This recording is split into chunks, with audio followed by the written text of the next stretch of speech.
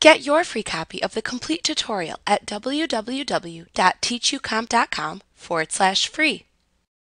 Photo Merge is a set of guided edits that let you easily perform advanced photo editing.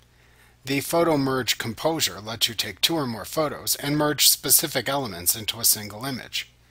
Photo Merge Exposure lets you merge your photos and retain only the best exposed parts from each. With Photo Merge Faces, you can combine facial features of different people to make a funny new face or photo.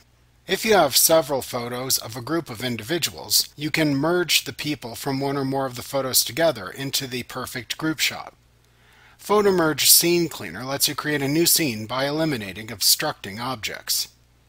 Photo Merge Panorama is used when you have multiple photos of a very large area or object that you want to merge into a single image, like photos of a stadium or large field. The tools each work in the same basic fashion. To use Photo Merge from within the photo editor, open the images you want to use and ensure that you can see them within the photo bin. Then switch to Guided Edit mode in Photoshop Elements by clicking the Guided button in the Shortcuts bar. Then click the Photo Merge button in the toolbar directly below the Shortcuts bar in Guided Edit mode to display the different Photo Merge types in the window below it.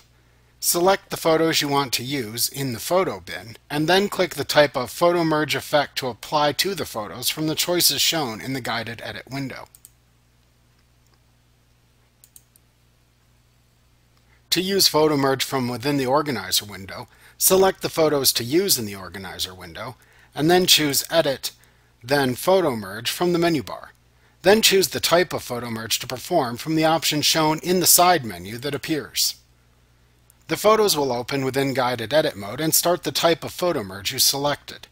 After selecting a type of photo merge to perform, specific instructions appear in the photo merge pane at the right side of the screen for the type of photo merge you are performing. Follow the instructions and use the buttons at the bottom of the pane to proceed through the guided edit.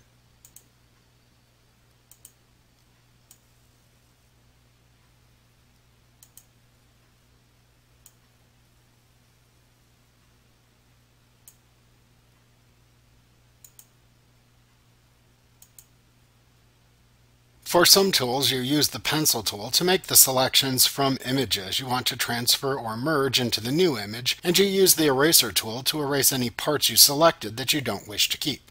For other tools, you simply use the brushes and options that appear to make your desired adjustments. When you are finished, simply click the Done button. Like what you see? Pick up your free copy of the complete tutorial at www www.teachucomp.com forward slash free.